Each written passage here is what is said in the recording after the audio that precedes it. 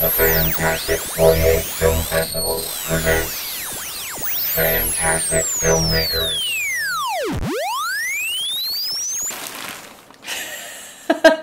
Okay, hi. Uh, I'm Gudrun Hines, Hi, I'm Julian Josve, and uh, Mary Josve is also part of this team, but she's not here. and And- we're Team Cyber Schlock.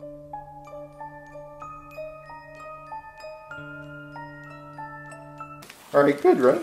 What's your definition of science fiction?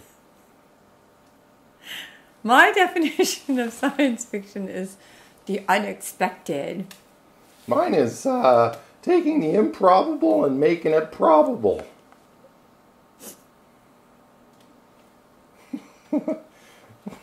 What's so funny?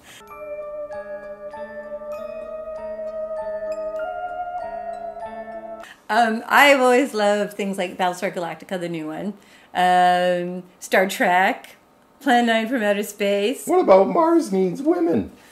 An attack of the 50 foot woman. Yeah, those, those are good too. Yeah. Uh, Quality stuff. yeah, yeah. Frankenhooker. Frankenhooker. Oh, that was mine. That was my choice.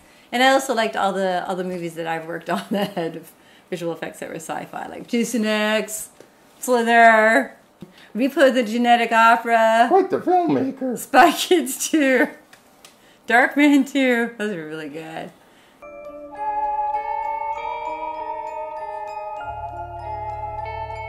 My plan is to run around with my hands in the air going, ah, we're running out of time. That's a really good plan. Well, I think it'll work. Yeah, I think it'll work really good.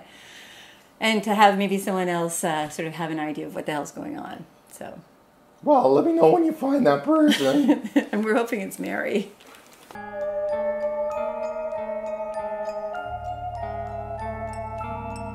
Do you have any tips for making a film in 48 hours? uh, make sure you buy some equipment and don't test it before you make the film. That's right. Don't refamiliarize yourself with your editing software. Definitely don't do that. And make sure you buy a new hardware and don't test it. Yeah, and uh, don't uh, give any warning to your friends that you're going to call them up and ask them to be in your film. And don't use these costumes with the plastic mask because you can't see a thing. Well, I think you actually are more handsome this way, honey. Oh, thank you. Uh, let's do it, baby. All right. All right.